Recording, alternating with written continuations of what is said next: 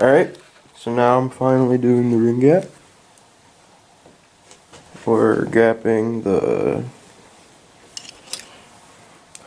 the bottom ring to or the top ring I mean to 023 and we're gapping the bottom one to 026 alright the secondary ring has been gapped to 0.026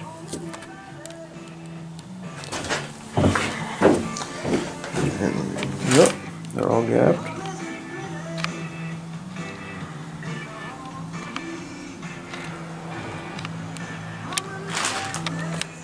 Now the next thing I need to test is my cylinder to wall clearance because I think it's a little tight in some spots.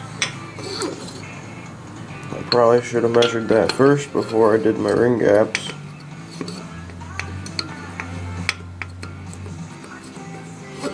But we're here now.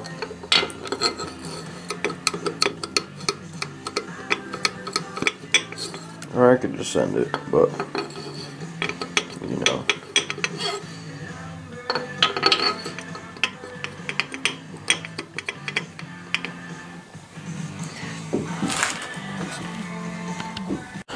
Yeah, I, I just talked to my machine shop guy. I think I'm just gonna get the block decked just to be safe because I couldn't get.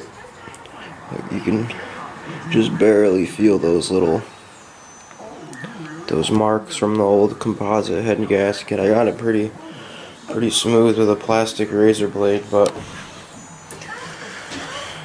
if I'm gonna send the block and pistons to get the clearance checked, then I might as well get it decked, right? So this is it for this video. I'm probably gonna edit this up and post it and then it'll be another few weeks before I get the block back and then put the crank back in, put the pistons and rods in, plastic gauge the rod bearings, make sure those are all good, and then, yep.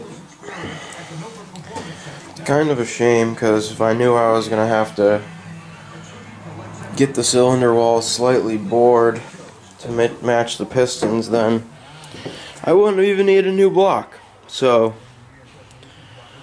Shame on me, but yep. Till next time. See ya.